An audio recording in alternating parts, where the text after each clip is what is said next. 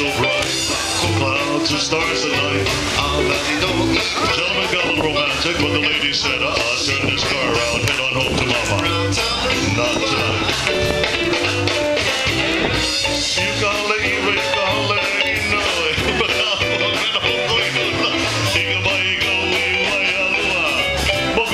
to it,